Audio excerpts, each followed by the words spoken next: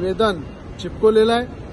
त्यांना त्यांच्या त्या मागण्या मी सगळ्या चिपकवलेल्या आहे. कारण की त्याच्या माध्यमातून तरी त्यांच्यापर्यंत महाराष्ट्राच्या जनतेचे अमरावती जिल्ह्याच्या प्रश्नाचे जनतेचा आवाज त्यांच्या कानापर्यंत पोहोचला पाहिजे. या उद्देशानं मी हे केलेलं आहे. आणि याच्यानंतर सुद्धा मुख्यमंत्री जर मला भेटायला तयार नसेल जनतेचे प्रश्न सोडवायला तयार नसेल आणि अति तातडीची बैठक कॅबिनेटची घेऊन चंद्रपूरमधली दारूबंदी हटू शकतात जे आज आवश्यक नव्हतं शेतकऱ्यांना आज खऱ्या अर्थानं मदतीची गरज आहे. युवकांना मदतीची गरज आहे. बेरोजगारांना मदतीची गरज आहे. ते न सोडवता कोरोनाच्याकडे दुर्लक्ष करून कोरोनासाठी लागणारे सामग्री आता तिसरी लाट येणार आहे. तिसरी लाटसाठी प्रत्येक जिल्ह्यामध्ये एक एक बेडचं एक एक हजार बेडचं हॉस्पिटल त्यांनी उभारलं पाहिजे. लहान मुलांसाठी व्हेंटिलेटर ऑक्सिजन आयसीयू हे उपलब्ध करून दिले पाहिजे. इंजेक्शन उपलब्ध करून दिले पाहिजे.